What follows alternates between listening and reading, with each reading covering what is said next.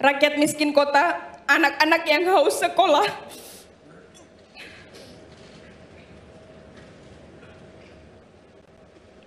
Dan harusnya disekolahkan. Menyadarkan mereka yang kaya materi bahwa hidup tidak hanya memikirkan diri sendiri.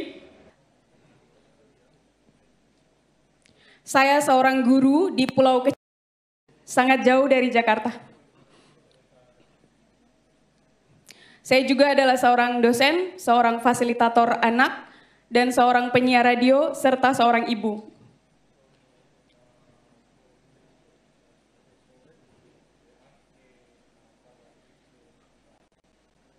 Saya mengambil peran sebanyak mungkin, semampu saya, di setiap bagian lini masa kehidupan, agar saya dapat mengisi dunia pendidikan dan menyebarluaskan pesan tentang pentingnya edukasi untuk menuntaskan kemiskinan.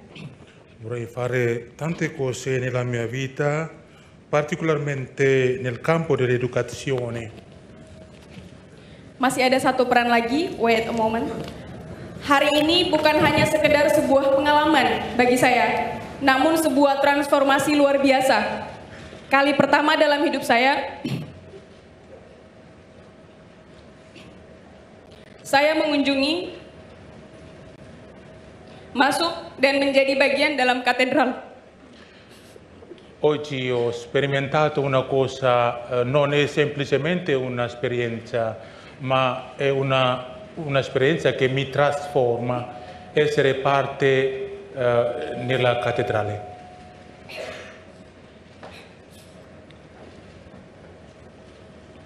Bagian dalam katedral sebuah gereja yang disucikan umat Katolik. Ajaibnya, tepat di depan saya berdiri pula masjid tempat saya biasanya beribadah.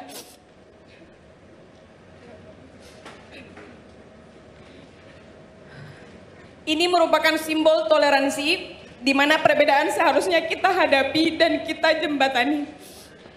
È una- un culto, luogo di culto dei cattolici molto santo e posso entrare, anche passare come la moschea, come il culto, eh, il luogo di culto della mia religione. Questo è un simbolo della tolleranza. Saya belajar toleransi, toleransi melalui agama saya dan ketika bersama sekolas, sekolas juga mengajarkan toleransi yang sama seperti yang diajarkan oleh Islam.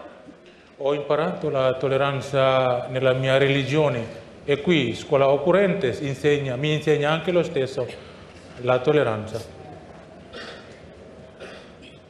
Sekolas dalam pedagogikalnya, kurikulumnya melatih saya untuk melihat dunia dari pinggir jalan, rakyat miskin kota, anak-anak yang haus sekolah.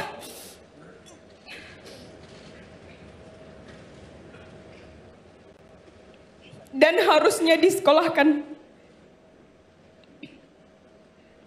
Menyadarkan mereka yang kaya materi bahwa hidup tidak hanya memikirkan diri sendiri, sebagai seorang guru, saya melihat kurikulum sekolah memiliki visi misi yang sama dengan kurikulum Merdeka Belajar.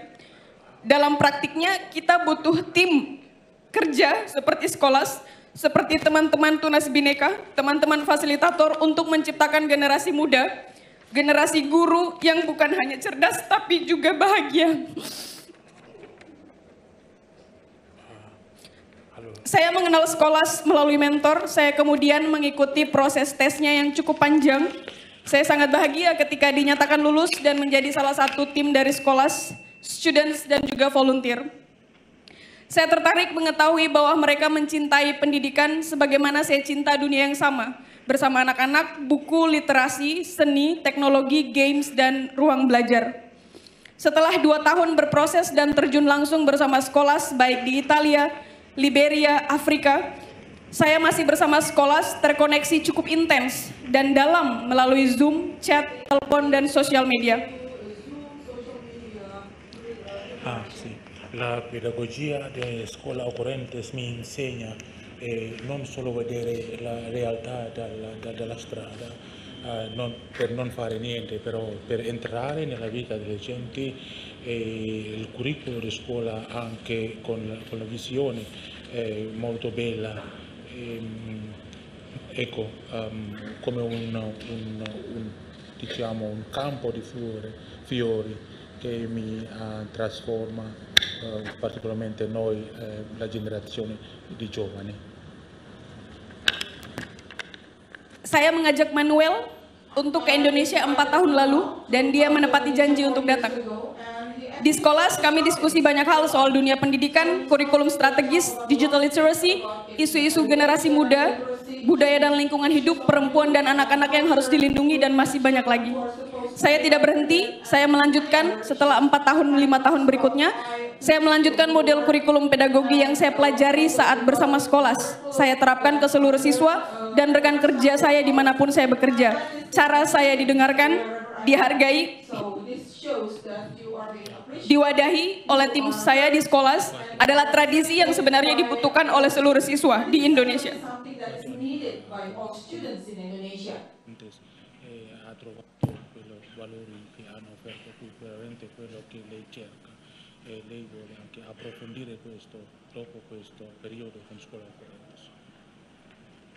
Mendengarkan adalah cara komunikasi terbaik dalam ruang pertemuan. Listen, listen, listen, and speak. Dengan cara itu, kita bisa menjembatani segala bentuk perbedaan menjadi one, become one, menjadi satu.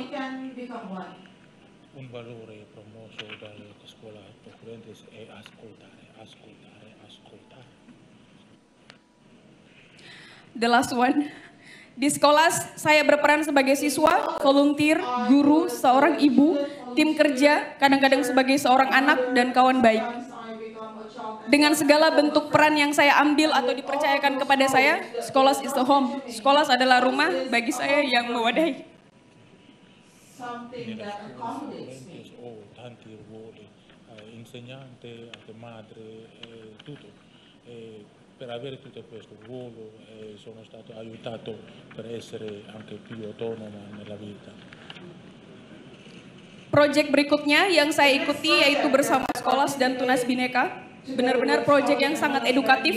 Saya sebagai volunteer, saya melihat sendiri bagaimana anak-anak 250 anak muda bangsa Indonesia berkumpul di Jakarta, berbagai budaya, beragam budaya, sosial ekonomi, status sosial ekonomi yang berbeda, cara berbahasa yang berbeda, dan juga agama yang berbeda. Saya mendengarkan langsung, tergerak hati saya mendengarkan mimpi, kenangan, memori, dan suara hati adik-adik.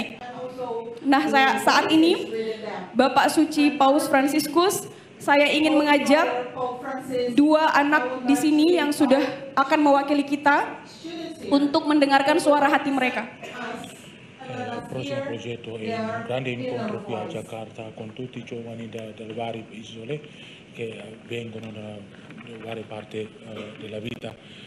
Sarà un grande evento, ma adesso vogliamo ascoltare, invita Santo Padre per ascoltare testimonianza dei due bambini.